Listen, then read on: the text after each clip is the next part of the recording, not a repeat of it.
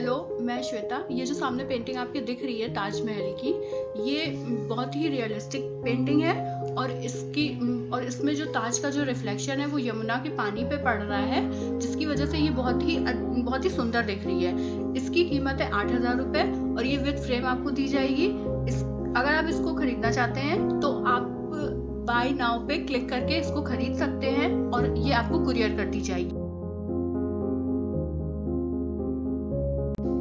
ये मेरी दूसरी पेंटिंग है जिसका नाम है कंट्री लाइफ इस पेंटिंग को पेपर पे वाटर कलर से बनाया गया है और इसकी साइज़ है 16 बाई 26 की।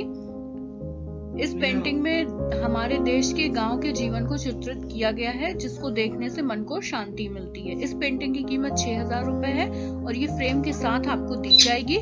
इसे खरीदने के लिए बाय नाउ पर क्लिक करें।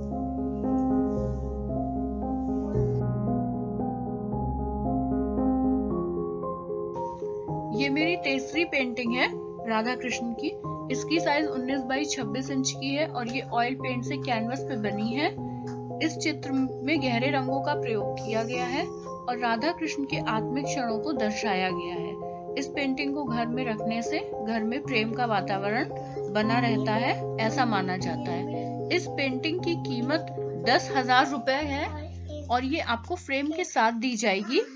इसको खरीदने के लिए आप बाय नाउ पे क्लिक कर सकते हैं।